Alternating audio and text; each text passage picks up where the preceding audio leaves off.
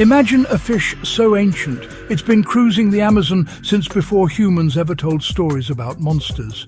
Meet the arapaima. In Brazil, they call it pirarucu. In Peru, paiche. I call it the river's dinosaur. This giant can hit 3 meters, about 10 feet, and weigh more than 200 kilos, 440 pounds. That's a sofa-sized fish with armor-plated scales tough enough to shrug off piranhas. Here's the wild part. It hasn't changed much in over 23 million years.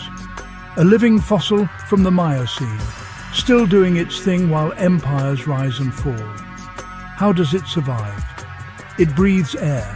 An internal, lung-like swim bladder means it must surface every 10 to 20 minutes for a gulp. Miss that breath and it can actually drown. That surface, whoosh! It's how river people find them at dawn. Hunting is pure efficiency. The arapaima stalk snaps open its jaws, creates a vacuum, suction feeding that rockets prey straight in.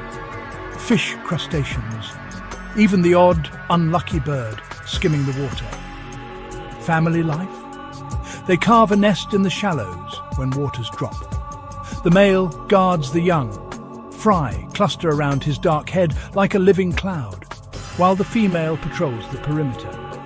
Ancient parenting, still working. People have relied on pirarucu for centuries.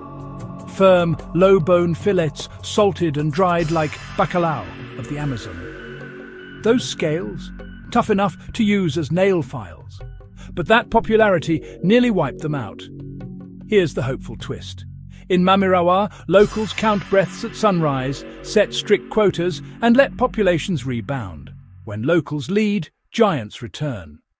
So next time you picture monster fish, remember, the Arapaima isn't a myth.